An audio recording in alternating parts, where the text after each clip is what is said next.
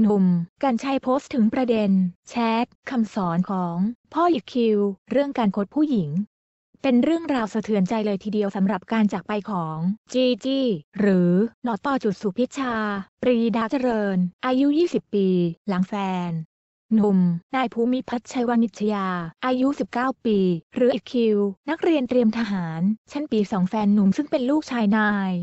ทหารยศใหญ่ จบชีวิต จากการตรวจสอบข้อมูลทางโซเชียลมีเดีย พบว่านักเรียนเตรียมทหารภูมิพัฒน์ชัยวานิชยา แฟนหนุ่มของจีจีมีพฤติกรรมรุนแรงนอกจากนี้ยังพบว่ามีข้อความแชทของจีจีและรูปภาพ ระบุว่าถูก นายภูมิพัฒน์แฟนหนุ่มทำรุนแรง บริเวณใบหน้า บวมช้ำ หนำซ้ำยังมีการส่งข้อความครูล่าสุดชาวเน็ตได้เผยแชทที่ทางอีกคิวกับผู้เป็นพ่อคือพลเอกสมชาย ชัยวานิชยา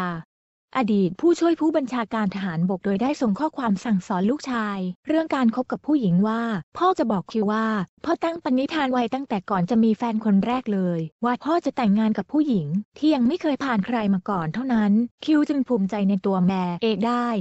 เลยว่า แม่มีพ่อเพียงคนเดียว และยังไม่เคยผ่านใครมาก่อน รวมทั้งไม่เคยผ่านใครๆมาตลอดชีวิต จนทุกวันนี้อาจจะเป็นความคิดที่คิวไม่เห็นด้วยก็ได้นะครับ เพราะยุคสมัยเปลี่ยนไป แต่พ่อก็ยังคิดของพ่ออย่างนี้ถ้าคิวว่าจะเห็นด้วย